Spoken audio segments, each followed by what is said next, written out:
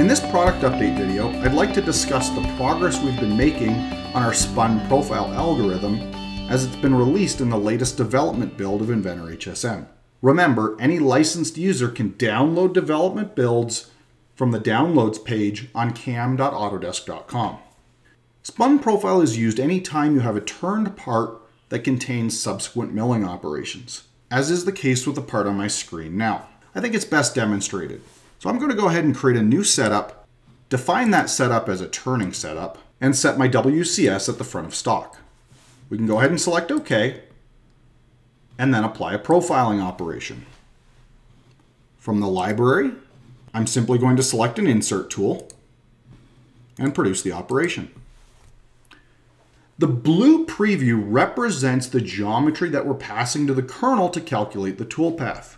And what you may notice is this is calculated by a slice through the part along the x-axis. Let's take a better look at that by transitioning to a cross-section view.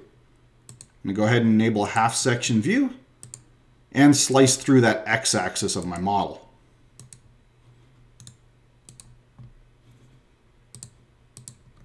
So clearly the toolpath is generated off of a slice through the x-axis. This is typical with most turning packages. You may even notice that at the front of the part, where we have a hole going all the way through the part, we've actually chopped the model off at that point.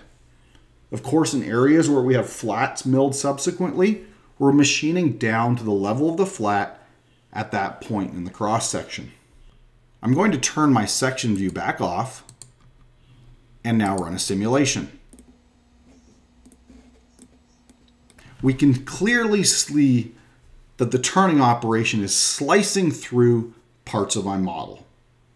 And as represented in that cross-section view, the front part of the model at the hole was completely chopped off. So now let's take a look at how we enable the spun profile functionality.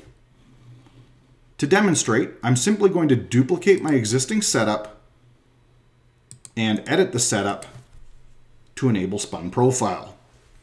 You're going to find spun profile inside the model definition of the setup.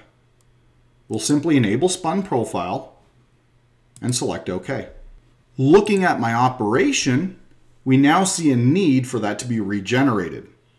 And if we look at the blue preview of the part, it's already been updated to contain the extents of the model as it needs to be turned.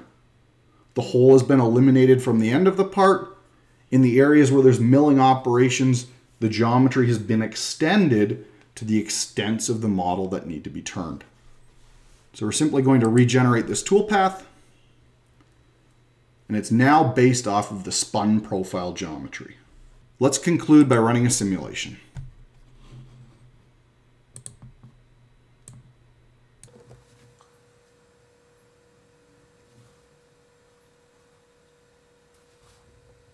If I show the stock as transparent, you can now see that we've clearly turned the correct profile for this mill turn part.